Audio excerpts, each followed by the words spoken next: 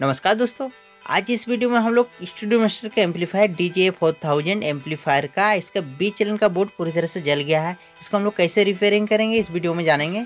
तो फ्रेंड्स इसका देख सकते हैं, मैंने बी चैनल का बोर्ड इसको खोल के बाहर निकाल लिया है। तो मैं इसमें बता दूँ, इसका जो 4000 का एम्पलीफायर में जो डीजे सीरीज़ का इसमें जितने भी कंपोनेंट्स लगे हुए हैं, मोटे कंपोनेंट्स लगे हुए हैं, इसलिए आसानी से रिपेबल हो जाएगा।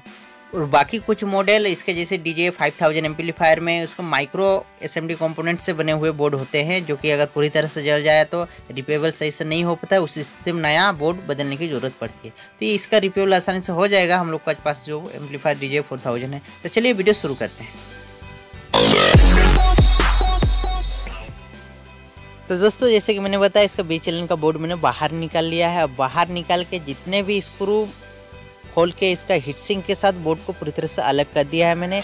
और जितने भी कंपोनेंट्स इसमें शॉर्ट्स थे, कुछ ओपन थे, कुछ जल गए थे, कुछ डैमेज हो गए थे, उन सबको मैंने चेक करके निकाल लिया है। अब मैं कंपोनेंट्स दिखाऊँगा कि इसमें क्या क्या डैमेज थे।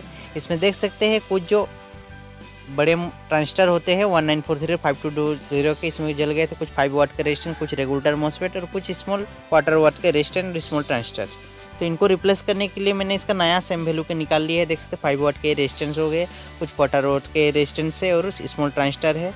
इन सबको बोर्ड में सबसे पहले हम लोग इसको सोल्डरिंग कर लेंगे, डालेंगे, क्योंकि ये जितने भी कंपोनेंट्स नीचे टाइप से सोल्डिंग होते हैं और बाकी जो मोटे कंपोनेंट्स हीट सिंक के साथ अटैच होते हैं, उनको बाद में हम लोग यूज़ करेंगे। तो चलिए सबसे पहले इनको बोर्ड में यूज़ करके सोल्डिंग कर लेते हैं।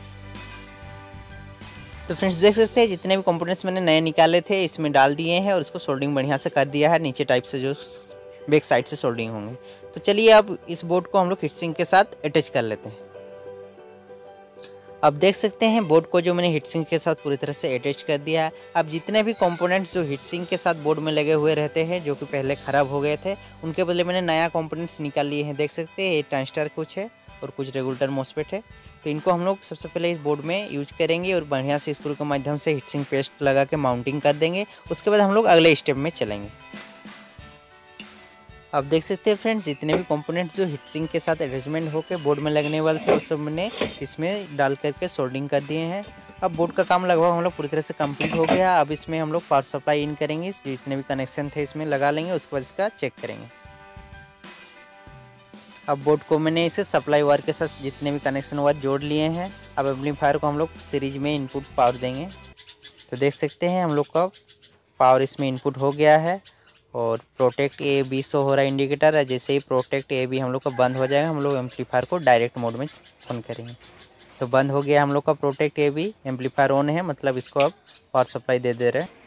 अब हम लोग का एम्पलीफायर जो है पूरी तरह से ऑन हो गया आप इसका फ़ैन का आवाज़ सुन सकते हैं। अब चलिए इसमें कनेक्शन ले लेते हैं, यानी कि ऑडियो इनपुट दे देते हैं और स्पीकर कनेक्शन भी इसमें आउट ले लेते हैं स्पीकर कनेक्शन जोड़ देते हैं, उसके बाद इसका साउंड चेक करेंगे।